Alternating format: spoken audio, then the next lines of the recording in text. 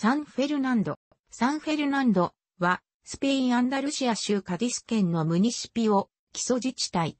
かつては島であったことから、地元では、ライスラ、LAI ラ、島とも呼ばれる。県とカディスの約 14km 南東にある。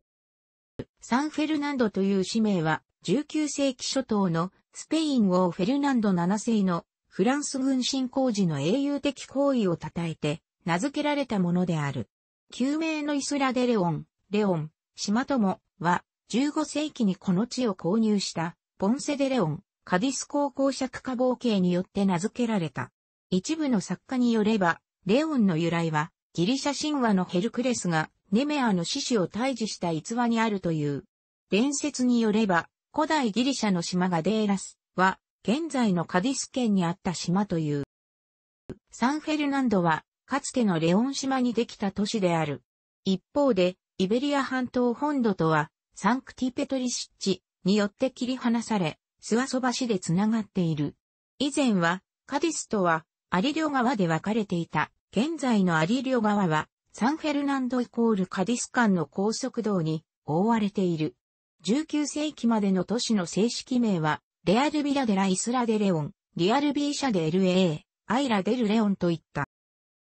都市のある地域から離れると、北の泥の島の上に築かれたカラカ交渉、カンポソト海岸、南のボケロン岬、サンクティ、ペトリ小島郡がある。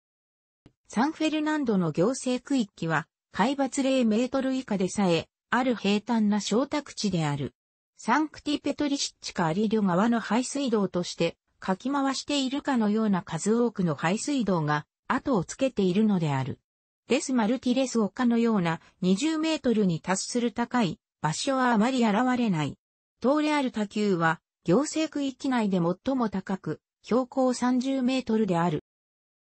サンフェルナンド一帯ではオスティオネラ石、貝殻や海の隆起で生まれた石を含むが多く取れ、歴史的な建造物を建てるのに使われてきた。サンフェルナンドの歴史は、カデス、現在のカディスを築いたフェニキア人の植民時代、紀元前1100年頃に始まる。その後タルテッソスがやってきた。タルテッソス人はフェニキア人との交易にのみ専念し、都市に大きな痕跡は残さなかった。都市の建設は完了しなかったが、サンクティペトリの小島にガディタノのヘルクレス神殿が築かれた。この神殿は紀元前4世紀頃にやってきたカルタゴ、そしてローマ時代に引き続いて信仰の場となった。カルタゴは紀元前206年頃、スキピオアフリカヌス軍に敗退しこの地を追われた。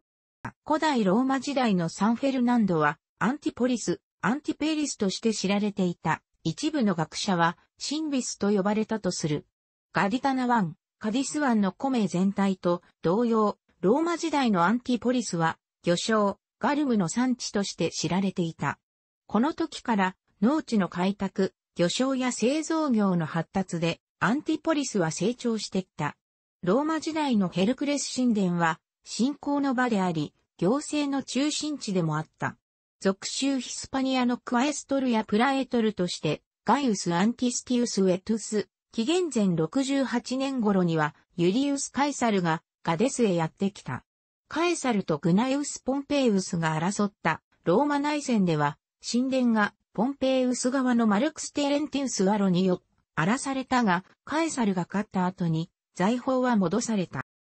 5世紀、バンダル族がガディタナ湾地域を通り抜け、一帯は悲惨な混乱した状態となった。次に、アンダルシア全体を西ゴート族が東ローマ帝国と対峙する前に征服した。イスラム教徒によって西ゴートが滅ぼされた8世紀以降、アルアンダルス時代に最初の都市開発が始められたと考えられている。アラブ人の建てたサンロムアルド城、最初はリバートとして建てれたレアル・カレネロ、王立海軍工場はどちらもレコンキスタイ後にキリスト教国側の建物に変えられた。イスラム支配時代、村ービト朝の提督ベンマイムーンが、ヘルクレス神殿の財を狙って、神殿を破壊したが、見つけることができなかった。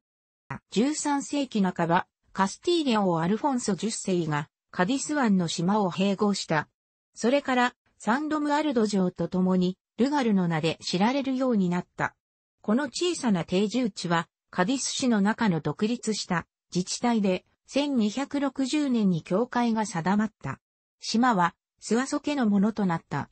そして15世紀、ポンセデレオン家に島は購入され、イスラデレオンと呼ばれるようになった。島にはカスティーリャ人、カンタブリア人、ガリシア人の移民が入植した。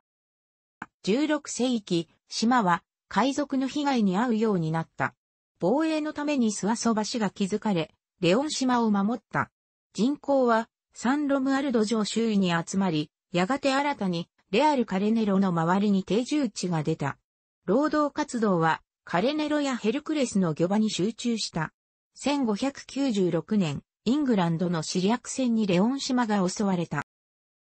18世紀のブルボン家支配時代、レオン島は繁栄の時代を迎えた。カラカ交渉に近いことが有利に働いた。フェリペ5世時代の1729年にレオン島はカディスから独立した都市となり、カルロス3世時代の1766年、ビリアデラレアル、イスラデレオンの名が与えられた。スペイン独立戦争の最中であった1810年、フランス軍の包囲に屈しなかったイスラデレオンとカディスに首都機能が移され、1810年9月から1811年2月、コルテスが開かれた。スペイン1812年憲法はここで書かれた。スペイン第二共和制、スペイン内戦でさえも、サンフェルナンドは大きな変化が起きなかった。1981年、アルマダにあった旧病院に代わってサンカルロス軍事病院ができた。大西洋に面していることから、住民は大大会と関連した仕事に従事してきた。シオダとラグーンはカディス湾の恵みであり、現在は養殖業も盛んである。1990年代から軍事施設の市街への移設及び海軍産業の撤去によってサンフェルナンド経済は深刻な不景気となった。現在、市は観光という新たな収入源を得ている。17世紀半ばまでイスラデレオンの人口は300人程度であった。18世紀にアルマダの基地ができたことで、この世紀末には人口が4000人ほどになっていた。19世紀初頭の半島戦争でフランス軍から逃れたコルテスの議員や多くの住民たちがイスラデレオンへ避難してきた。20世紀に最大の人口流入を経験し、現在はカディス県第4位の人口を持つアンダルシア有数の都市となっている。楽しくご覧になりましたら、購読と良いです。クリックしてください。